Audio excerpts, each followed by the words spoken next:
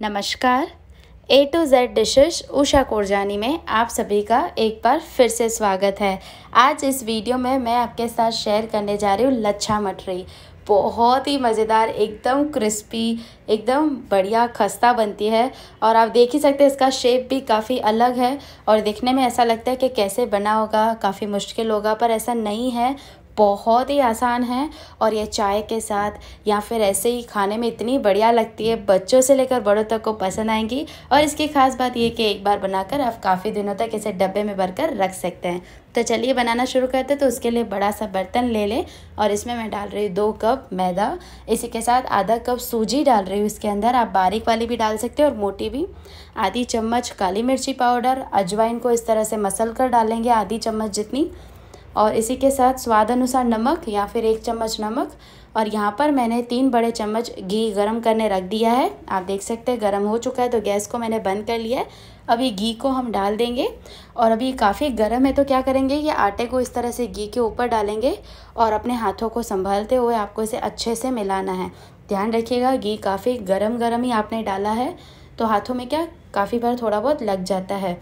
तो इस तरह से पहले हल्के हल्के हाथ से मिलाएँ फिर ये बहुत ही जल्दी ठंडा हो जाता है तो इस तरह से अच्छे से अभी आपको इसे मिलाना है। मोइन अच्छा होना चाहिए। देखिए, अच्छे से ये बन रहा है। उसके बाद यहाँ पर मैं अपने आप तोड़ रही हूँ तो ये टूट भी रहा है। तो इस तरह से ये होना चाहिए। देखिए, अब इसके अंदर हम थोड़ा थोड़ा करके पानी डालेंगे और आटा गूँधेंगे तो यहाँ पर मैंने एक कप पानी लिया है टोटल। तो थोड़ा थोड़ा करके डालना और आटा गूँधना है। आटा जो है, एकदम सख्त भी नहीं होना चाहिए और एकदम नरम भी नहीं। मैं आपको बता दी कि किस तरह से होना चाहिए। एकदम ज़्यादा सख्त भी नहीं रखेगा और एकदम ज़्यादा नरम भी नहीं रखेगा मीडियम आटा गूंद कर ही हमें तैयार करना है। तो आप देख सकते हैं, मैंने थोड़ा थोड़ा करके पानी डाला है और अच्छे से मैं ये आटे को इस तरह से मसल रही हूँ। और अभी आप देख सकते हैं, ये थोड़ा और सख्त है।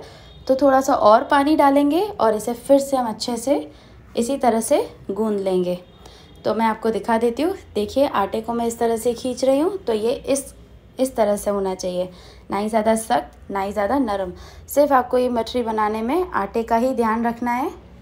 तो यहाँ पर आप देख सकते हैं, आटा गूंद कर मैंने तैयार कर लिया। अब इसे ढककर हम 10 से 15 मिनट तक रख देंगे। तो यहाँ पर 10 से 15 मिनट हो चुके हैं तो अब ये ढक्कन को हटा लेंगे। हल्का सा तेल लगाकर इसे हम इस तरह से चिकना कर लेंगे। बहुत ही आसान है।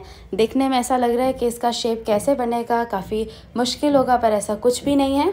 एक बार मसलने के बाद इसमें से हम बड़ी सी लोई निकाल लेंगे इस तरह से और इसे दोनों हाथ के बीच में मसल लेंगे, फिर चकले पर लेकर इसे हमें बेलना है। तो अब ये एकदम जैसे हम बड़ी सी रोटी बनाते हैं ना, वैसे बेल लेना है। ना ही ज़्यादा ये मोटी होनी चाहिए और ना ही ज़्यादा एकदम ये पतली होनी चाहिए। इस तरह से उठाते जाएँ और इसे इस तरह से बेलते जाएँ। तो यहाँ पर आप देख सकते हैं, इसी तरह से मैं उठाती जा रही हूँ और इसके किनारों पर अच्छे से बेलन लगाकर इसे बेलना है। तो देखिए, ये ज़्यादा रोटी मोटी भी नहीं है और ज़्यादा पतली भी नहीं है। तो इस तरह से ही होनी चाहिए मीडियम रोटी। तो अब हम इसके जो किनारे हैं, वो हमें निकाल लेने हैं और एक स्क्वायर शेप इसका बना लेना है। तो देखिए, किनारे मैंने पूरे निकाल लिए हैं। अब ये नाइफ़ की मदद से इसकी पतली पतली पट्टियाँ हमें काटनी है। देखिए, एकदम पतली पतली काटिएगा। तो देखिए, बिल्कुल थोड़ी थोड़ी जगह पर आपको ये चाकू को लगाना है और इसे पूरा, पूरी लाइन कर देनी है। पूरे स्क्वायर में आपको इसी तरह से कर लेना है। तो यहाँ पर आप देख सकते हैं, ये मैंने पूरे स्क्वायर में कर लिया है। देखिए, इस तरह से होनी चाहिए छोटी छोटी अब ये तीन पट्टियों को हम उठाएँगे। तीन या चार को उठा लें आप।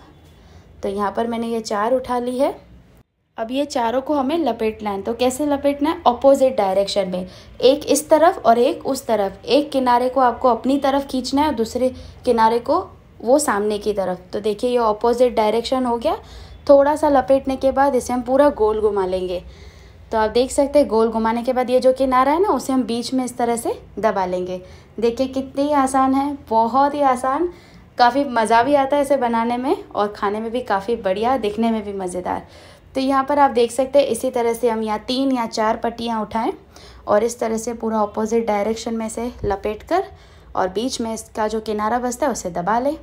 तो इसी तरह से मैंने यहाँ पर ये तैयार करती जा रही हूँ और एक बार ही आपको ऐसा लगेगा, इसमें शेप तो इतना ज़्यादा कुछ है ही नहीं, बहुत ही आसान।